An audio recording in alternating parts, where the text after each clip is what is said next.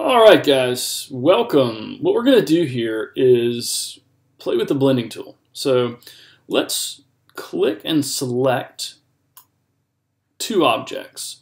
And then we're going to go up to Object on the menu bar and then down to Blend and then Make. I want you to notice there's a Blend Options there. So we've made a blend here. So what's happening really is the object on the right is a vector shape the object on the left is a vector shape. The things in the middle are just sort of instances. They don't really exist. In other words, you can't really select them. You can't do anything to them except move them around a little bit, and that only by virtue of this path that goes between the first shape and the last shape. You'll notice there's three steps in between, right? There's three of these things between, five shapes in all, or what seem to be five shapes. It's really just two shapes with these three instances in between.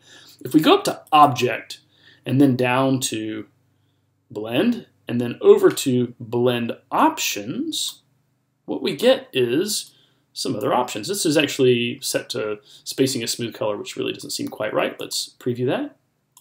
Let's do specified steps and you can see it says three steps already, right? So if I change this to, say, five steps, and I click preview, it's going to give me five steps in between, okay? These are just overlapping. They're the same color, so it looks like they're all one shape, and they're not, okay? So what I'm going to do is I'm going to go ahead and change this back to three steps, okay? I'm going to preview that. All right, so now I've got three steps there. I can do smooth color or specified steps. I'm going to click OK. I've got specified steps now um, of three. Now, if I want to, if I want to do anything to these shapes in between, I can. I've got plenty of options here, okay? But right now, if I click my direct selection tool, you'll notice I can't grab that individual shape. I can't do that. I can grab this individual shape, right? If I click off and click back on, I move the whole blend.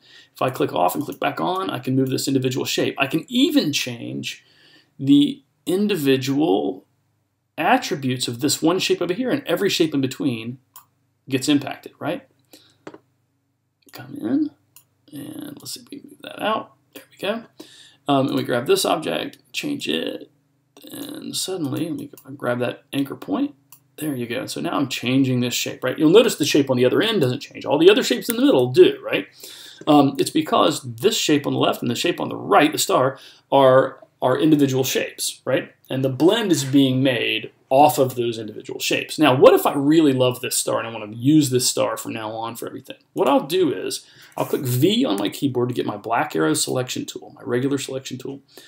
I'll select them, go up to Object, Blend, Expand, and I'll expand the shapes. It still is going to treat them as though they're grouped, okay? Um, but I'm going to expand them and grab, I can grab with my direct selection tool, the white arrow tool, which is A on my keyboard, and I can move the individual object. Pretty cool, right? I'm going to do a follow-up video to this that's going to talk about um, doing smooth color blends, okay? So check it out if you need to see that one.